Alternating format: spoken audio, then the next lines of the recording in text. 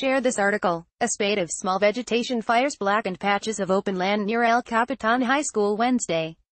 Photo courtesy on scene. TVA spate of small vegetation fires blackened patches of open land near El Capitan High School Wednesday.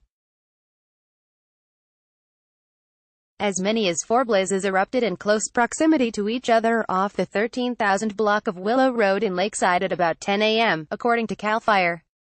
Authorities shut down Ashwood Street between Mapleview Street and Willow Road while firefighters worked to extinguish the flames, the state agency reported. It took crews about an hour to halt the spread of the non-injury fires, which scorched a total of roughly two acres.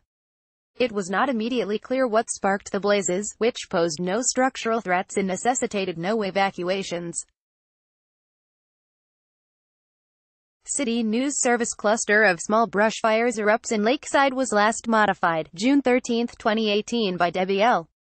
Sklar greater than greater than subscribe to Times of San Diego's free daily email newsletter. Click here follow us.